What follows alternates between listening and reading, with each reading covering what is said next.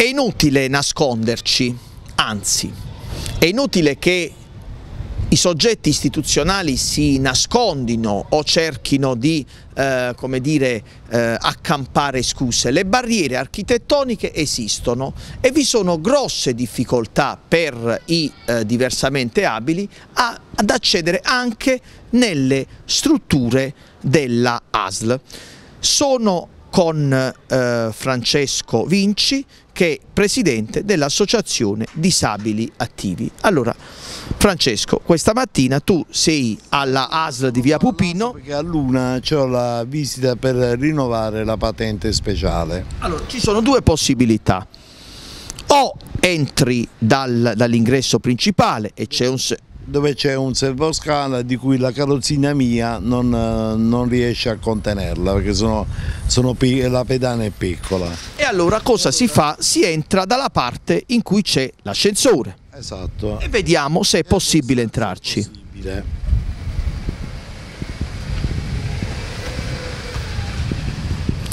Francesco sta salendo,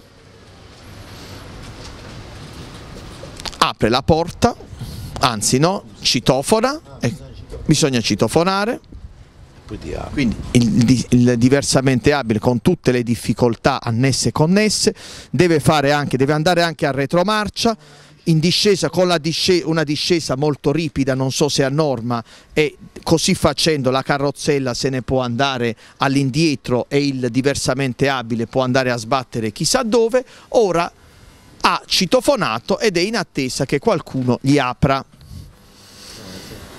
si potrebbe dire, giusto per ridere un po', no? per sorridere, butta la chiave gelsomina, no? come era la famosa canzone.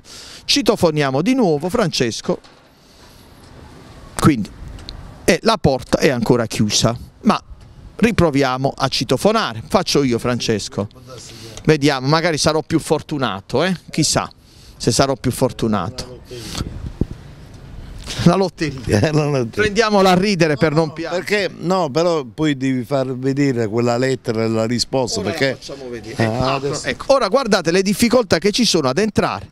Come fa il diversamente abile a entrare? Guardate come non c'è lo spazio, un, de deve fare mille contorsioni per entrare, Guarda, deve scendere, deve girarsi, guardate, e, e ci sono grosse difficoltà per far entrare un diversamente abile, con il rischio anche che la carrozzella è lì e la scala di dietro, la carrozzella non entra sulla pedana. È troppo grande questa per quella pedana. Ora vediamo come fare. Eh, vediamo. Ecco, eh, vedete, e ora chiude la porta. Eh, scusi, eh, eh, eh, se chiude la porta lo lascia fuori. Eh. Fargli vedere quella lettera. E non entra. Eh, non entra. Eh, a vedere sopra come fare. Eh, vede, vede, le difficoltà che ci sono. No, non è colpa sua, eh, per carità. O entro o, o mando fai di stare nell'ascensore no? Eh sì, però qualcuno mi si faccia più indietro. Eh sì. No, indietro come va? Come va? Ah, mo, sì. Ecco, manteniamo. Entra Francesco. Come vedete abbiamo voluto dimostrarvi purtroppo le difficoltà, le barriere che ci sono. Eppure era stata data una risposta da parte della ASL era stato risposto così. In riferimento alla nota in oggetto eh, si fa presente che la sede della Commissione Medico Legale in via Pupino 2 barra C, eh, in precedenza ubicata al secondo piano, è stata trasferita al primo piano al fine di poter agevolare gli utenti con disabilità. Questi ultimi possono accedere alla struttura utilizzando sia il servoscala meccanizzato, che però non riesce a contenere questa carrozzella, eh, aiutati da un operatore su chiamata, sia dell'ascensore sito all'ingresso di via Viola a 50 metri metri dall'ingresso principale. Vi abbiamo voluto far vedere le difficoltà che ci sono. Ma torniamo dal nostro amico Francesco, ecco, ora l'operatore ci raggiunge, anzi Francesco, ecco, ti aiuto io, stai tranquillo, ecco.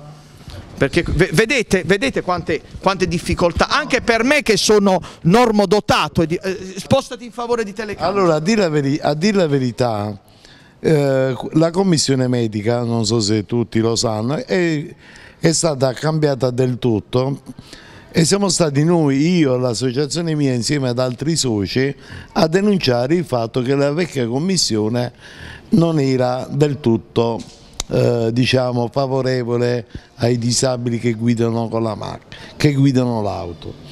Siamo riusciti a cambiare tutta la commissione di componenti, sono cambiati tutti e ci avevano promesso che avrebbero risolto anche il problema Dell'accesso. sede, della sede. E quindi per accedere... no? In- informalmente loro ci dicono che la- le visite sarebbero avvenute dove prima c'era la guardia medica in viale Magna Grecia.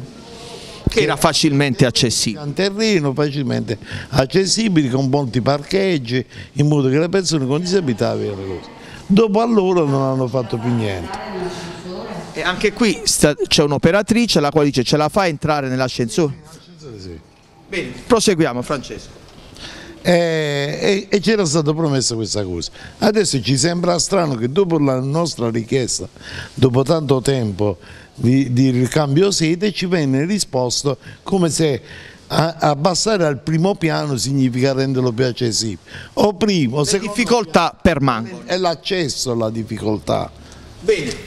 Allora Francesco, noi ti saremo vicini a, a te e a tutti i diversamente abili. No, no, la- ora lo, lo facciamo inquadrare il foglio.